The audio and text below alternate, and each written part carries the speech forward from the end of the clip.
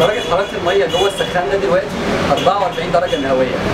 النهارده يوم 27 أغسطس الساعة دلوقتي تقريبا واحدة الظهر والسخان ده في الشمس بقاله تقريبا ثلاث ساعات بس ودلوقتي ما بقاش في شمس حواليه وأوريدي وصل لدرجه الحرارة دي. إحنا عارفين إن مصر عندها مشكلة كبيرة في الطاقة بقالها فترة وبدأت تظهر أكتر الفترة اللي إحنا موجودين فيها. ومن ضمن أكتر الحاجات اللي بتستهلك الطاقة هي تسخين المية لل- للدش أو للاستخدامات اليومية العادية. وعلشان كده بدأت أفكر إيه الحاجة اللي أقدر أعملها علشان أقدر أوصل لسخان مية بالطاقة الشمسية رخيص جدا كل الناس تقدر تعمله وكل الناس تقدر تشتريه. فعملت السخان ده السخانات ممكن نبص كمان عليه. السخانات طول عمرها بتكلف حوالي 5 أو 6000 جنيه. آخر سخان شفته كان الرينج بتاعه 7000 جنيه. ده أبسط سخان مية بالطاقة الشمسية اتعمل في التاريخ.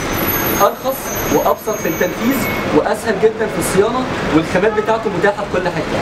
وده الحل الأمثل لناس كتيرة جدا جوه القاهرة أو في الأرياف إن يبقى عندهم حاجة يقدروا ينفذوها ويقدروا يعملوا لها صيانة ويقدروا يشتروها بثمن آه، سهل جدا لأكتر الناس.